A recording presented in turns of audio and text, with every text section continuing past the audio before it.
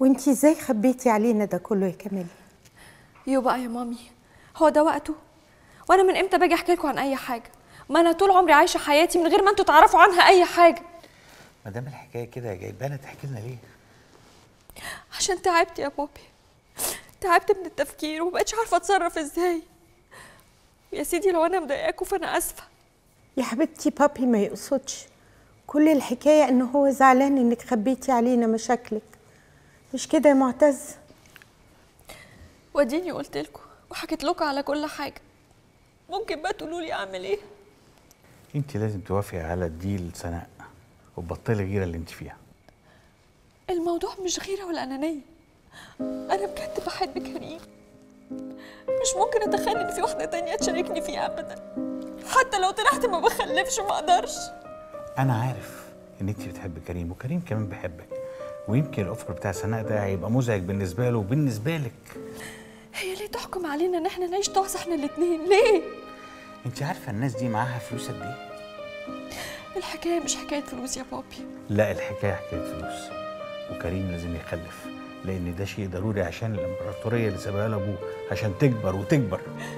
طب أنا أعمل إيه؟ ما أنا على يدكم رحت لدكاترة الدنيا كلها وبرضه مفيش فايدة. أعمل إيه؟ أنا عارف عارف إن إن أنت تعبتي. بس نصيحتي ليكي صدقيني إن أنت تقبلي الديل سناء.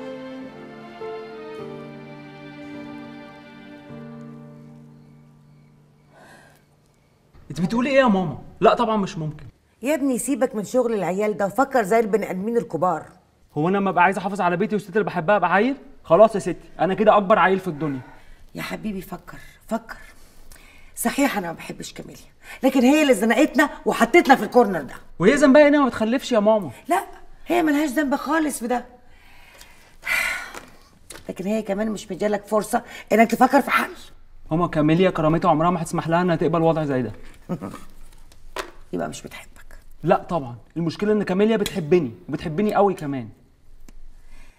اسمع يا كريم لو كانت بتحبك كانت فكرت فيك وعملت حسابك زي ما انت بتفكر فيها وبتعمل حسابها. إذا كان أهلي بيقولوا كده يبقى أكيد سناء هاني دي كان عندها حق تعمل فيا أكتر من كده. الست ما عملتش فيكي أي حاجة وحشة يا حبيبتي. كمان؟ okay يا بابي. لو سمحت مش عايزة أتكلم في الموضوع ده تاني. يا كوكي استني بس شوفي بابي عايز يقولك إيه.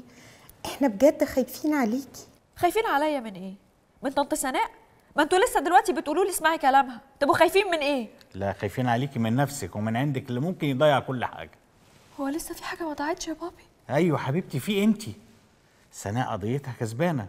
وكده كده هتعمل اللي هي عايزاه.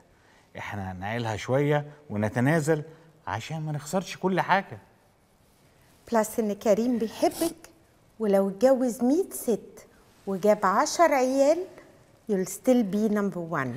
أنا مش عايزة أبقى number 1 أنا عايزة أبقى the only one أنتوا إزاي مش قادرين تفهموني؟ إزاي؟